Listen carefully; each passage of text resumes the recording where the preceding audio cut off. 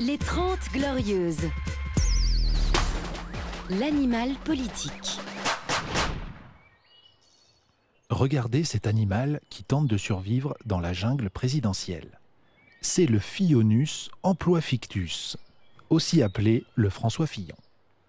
Le François Fillon est un animal de la famille des vers de terre de la Sarthe. Il a une grande résistance à la douleur et une grande capacité de survie. Même coupé en deux, il est capable de survivre.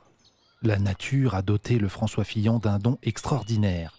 Il peut se retenir de respirer pendant très longtemps. Il est capable de survivre en apnée pendant deux mois, même en étant submergé par une vague d'excréments. Autre particularité, le François Fillon n'a pas de colonne vertébrale, ce qui lui permet de se mouvoir et de glisser sans difficulté entre les affaires judiciaires.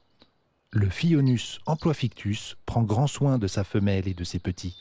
La journée, il chasse les bons plans pour les nourrir. Sa technique est simple. Il s'engouffre dans les failles du système politique, puis en ressort rempli d'oseille. Dans la jungle de droite, tous les vautours attendent sa mort. Mais le Phionus est solide, car non seulement il ne possède pas de colonne vertébrale, mais il est également dépourvu de honte et de regret, ce qui lui permet d'échapper à ses nombreux prédateurs judiciaires.